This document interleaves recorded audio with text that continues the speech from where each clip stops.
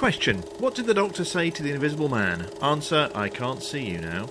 The Invisible Man is a full on horror movie that plays on that uncanny feeling of being watched in a way that is both simple and deliciously creepy. A high concept movie with a low budget feel and some of the best jump scares you'll see.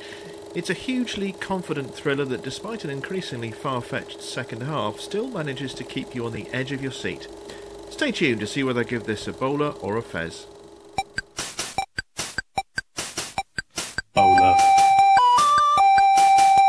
Or Fez. Fez. Or bowler. Fez or bowler, bowler or Fez. It's time to find out what he says.